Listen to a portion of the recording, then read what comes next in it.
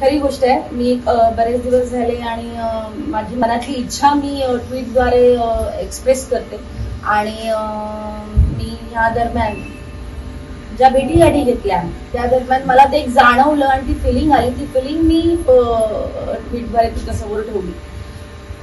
शिवसेना हा एक एवढी मोठी संघटना आहे. त्याच्यात त्या दोन गट जे पडलेले आहेत ते दोन गट मला नको होते. मला पूर्णपणे शिवसेना गट म्हणजे पूर्ण शिवसेना एक आहे.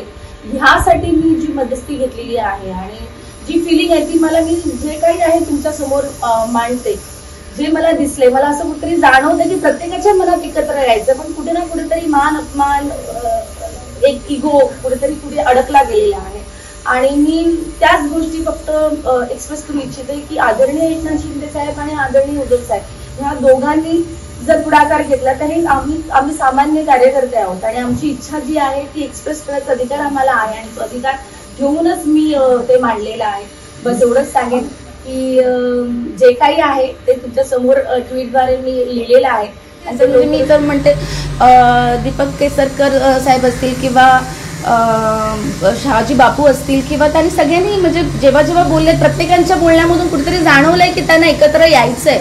कोणी असं म्हटलं नाहीये की आम्हाला एकत्र यायचं नाहीये. आणि ही फिलिंग सगळ्या आमदारांच्या मनातली आहे ते फक्त कोणी एकत्र समोर येऊन बोलत नाहीये.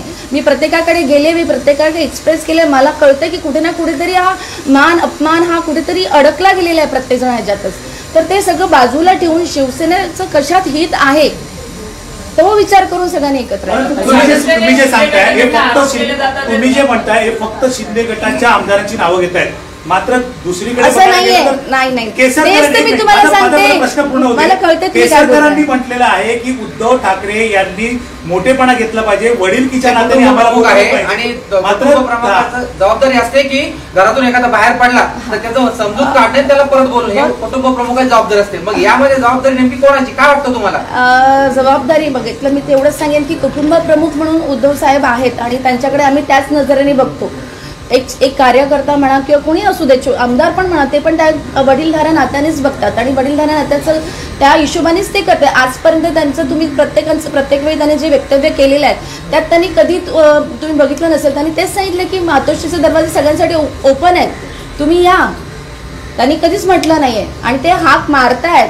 इवन आदित्यच्या पण ट्विट बोलण्यामधनं पण ते जाणवलेलं आहे कुठे ना कुठेतरी की ते ते पण म्हणतात की बाबा तुम्ही या सगळेजण.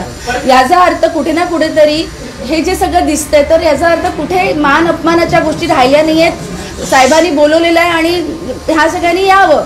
ह्या जर ज्या गोष्टी झाल्या तर सगळे एकत्र येतील. फक्त एवढंच आहे की इकडनं कोणी बोलत नाहीयेत एक्सप्रेस होत नाहीयेत की बाबा नाही आम्हाला यायचंय किंवा आम्हाला कुठेतरी कुठली तरी गोष्ट अडते आणि ती अडते ती तोडण्याचा प्रयत्न माझा चालू आहे.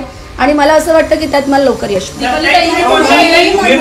दोन दिवसात दोन दिवसात दोन घंटे भेटणार आहेत पण त्याचं काही ऑफिशियल कन्फर्मेशन आलेलं नाही. ते लवकर तुम्हाला दिसेल ना? लवकर तुम्हाला. उद्धव ठाकरे यांच्याशी काय बोलणं? माझं कारण दोन्ही ठिकाणी बोलणं झालेलं आहे. हा. मी त्यामुळे जे काही मला बोलण्यामधून जाणवलं गेलं आहे तेच मी ट्विटद्वारे लिहिलेलं आहे. तर तुम्हाला थोडा एक वेगळा प्रश्न- थोडा एक वेगळा प्रश्न विचारतो. आता सध्या तुम्ही राजकारणात आहात तुम्ही एक अभिनेत्री पण आहात. या काळामध्ये आता तुम्ही पक्षाचं काम करताय शिवसेनेचं. मात्र या काळामध्ये तुम्हाला मोठ्या मॅनरचा जर चित्रपट मिळाला तर तुम्ही पहिले पक्ष निवडणार का चित्रपट निवडणार? असं नाहीये या टायमाला पण मला मोठ्या मॅनेजचे पिक्चर चित्रपट होते. अशी गर्दी तिथे पण होते असं काही नाहीये.